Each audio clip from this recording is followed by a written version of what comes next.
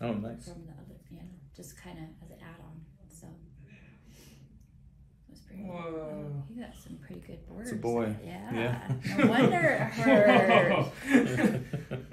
no wonder it hurt. Uh, So all this will it's just granular tissue. That'll, so when this heals, this will heal together. You'll have a normal looking toe without the ingrown.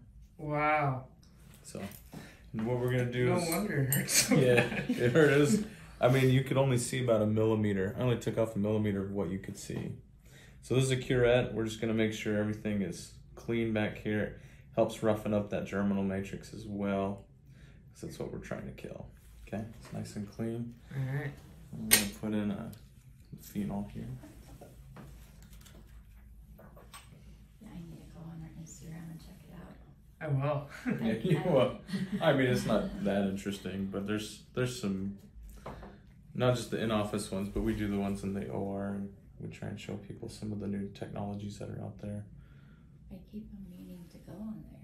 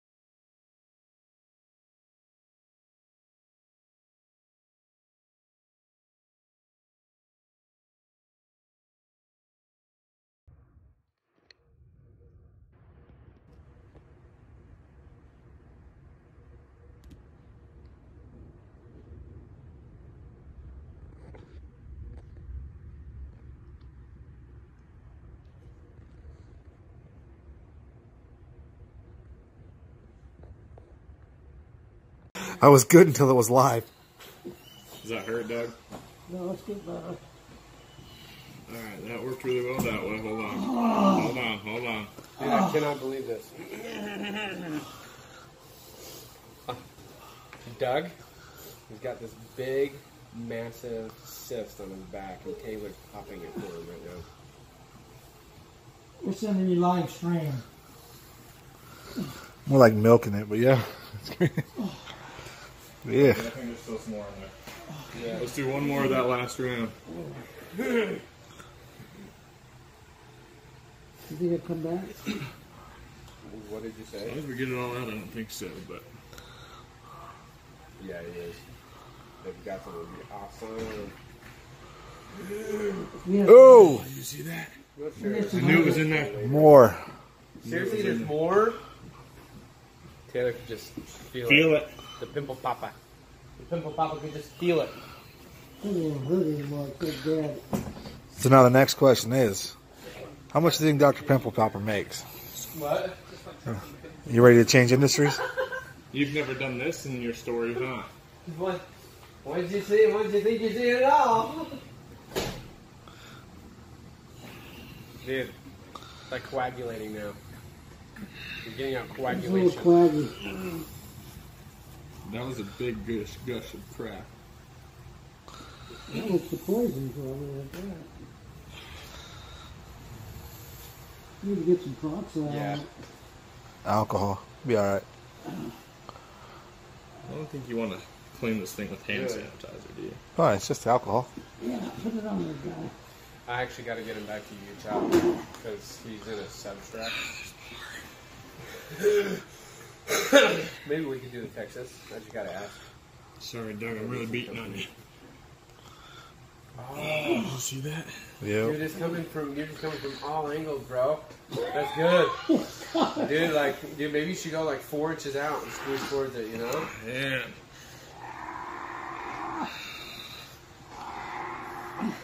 Dude, you got some more gloves? You want me to help? I'm getting sweaty. All right, dude. That's good. The gloves are down there on Jacob's toolbox. Doug, I think that's it, bud. Okay. Hold on, let me wipe this out.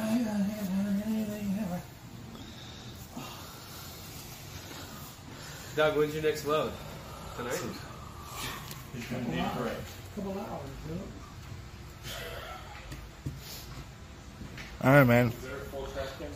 I'm making it one shot. Here, here, here. Put them in this box. Put it all in this box. don't even do a break. Really? Yeah, That's awesome. dude. All right, are we done? it's the only way to do it. We done? Stop with the. Oh my. Oh, that's disgusting. Okay,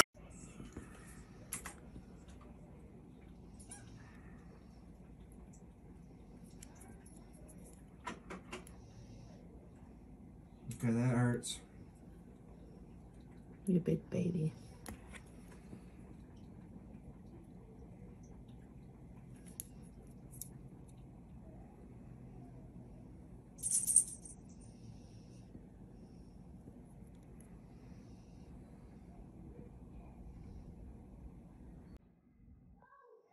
Changed when she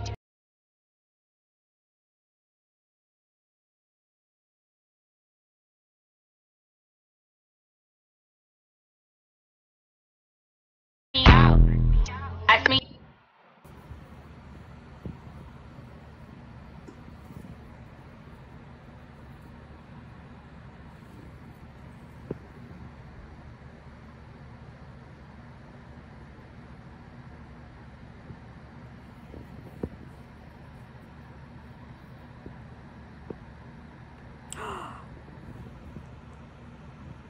What the fuck?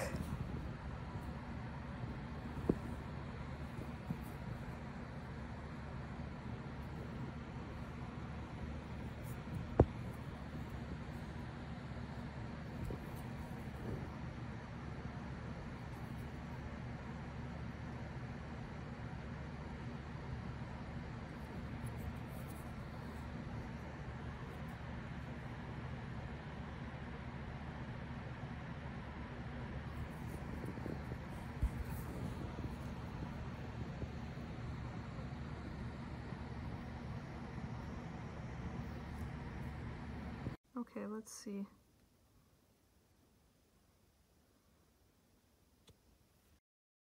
So this patient has had a evolving inflamed epidermal cyst over the course of the last how long now? Um, since it's been inflamed, Yeah, uh, about a month. a month, eh? The problem she had is nobody wanted to open it up, and the plastic surgeon didn't want to see this either directly. And the problem with it is we can't remove this because it's infected, so we're going to have to just see if we can get it to drain. Um, so we're going to put some anesthetic in. The problem with this is lidocaine works on an acid-base mechanism, so the anesthetic is a little bit acidic, and the basic tissues usually um, convert that to more of a neutral substance, which is then soluble into the actual tissues. When there's an infection like this, it's also acidic, so the anesthetic doesn't work as well. So we're going to inject some deep and see if uh, it'll take a little bit. You can feel poke here, poke. Feel a little pressure. Now I try to get behind this cyst, but if I'm into it, you'll see that pressure starts to exert on the cyst, and those will start to pressure forth. Looks like I'm underneath it still. Oh, you can see she's having pressure, back pressure.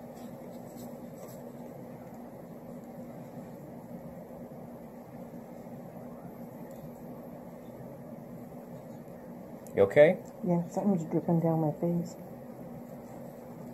You got that? I think I got it there. And now I'm going to put a little bit on the superficial tissues.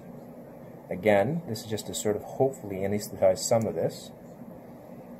To see where it blanches a bit. You okay? Mhm.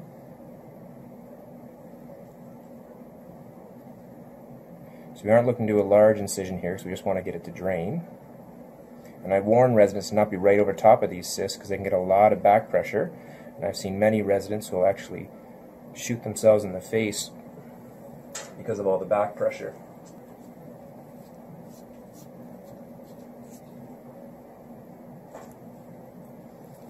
How does that feel?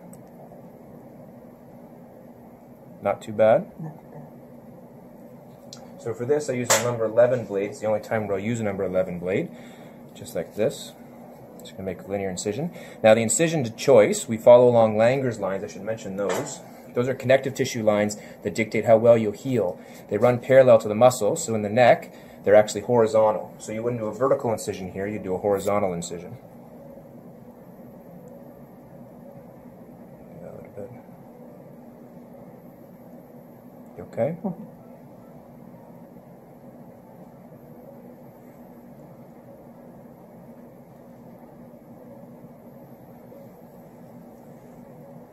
So that's the initial incision.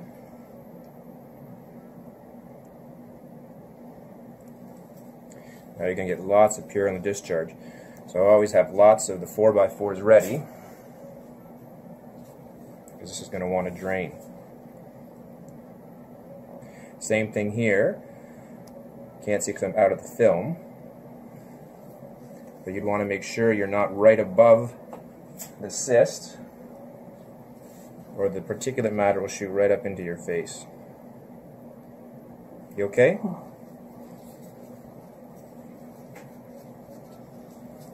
Now it'd be nice if we could take the capsule out, but the problem with these is when it's infected, the capsule becomes thin and friable and it's impossible to take it out.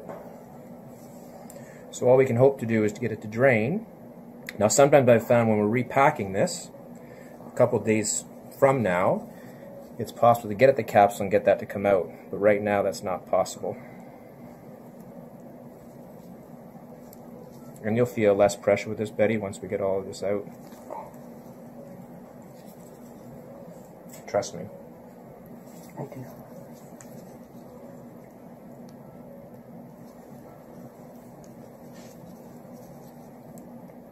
And you'll feel lighter too.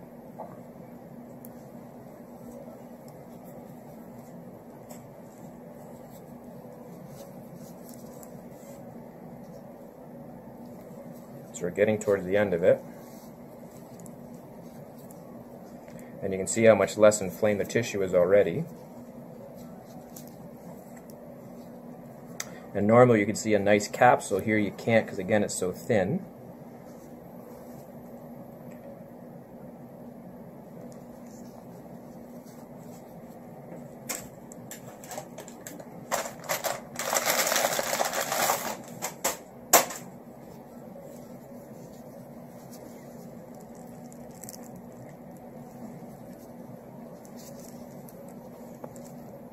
I'm almost done here.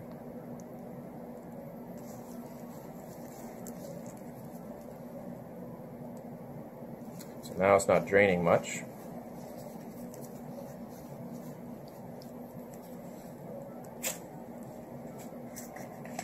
Now I'm going to be filling that with sterile gauze. This is packing gauze. Now when you're first filling this in, she's got some anesthetic in, so you can be a little bit less gentle with it, but certainly when you're doing the, the changes in subsequent days, you have to be a bit gentler with this.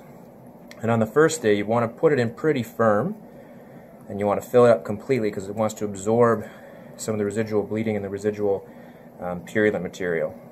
On subsequent days, you actually want to be putting in less and less so it has a chance to close up naturally. And you'll see that this will absorb a fair amount of this, this gauze. Because obviously that pocket is fairly large. Now Betty, this has to be changed tomorrow. Now this they will be, once I've done the initial incision, they'll be okay with changing it.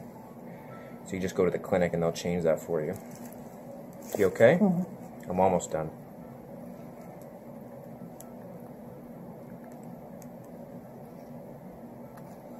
And this can seem to go on forever sometimes.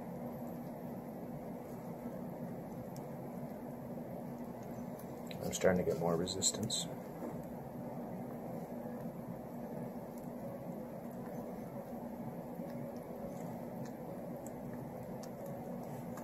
You okay?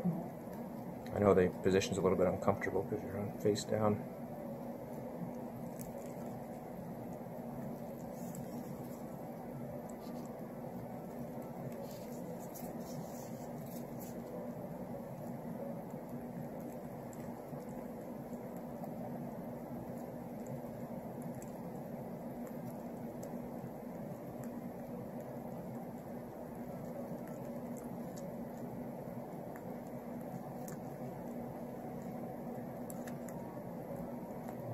Almost there. Alright, very good. And then I'll just clip this. And then we'll put a dressing on it. So you can stop if you like.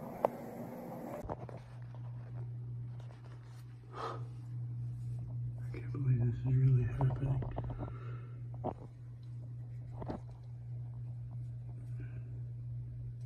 Oh.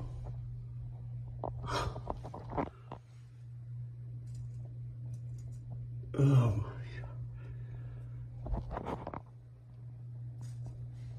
Oh my god.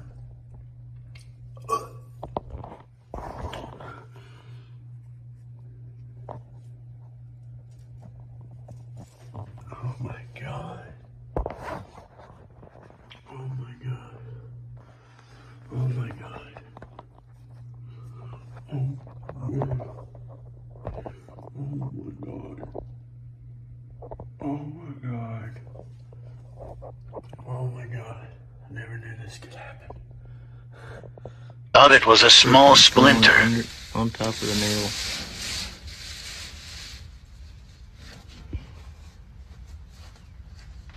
What's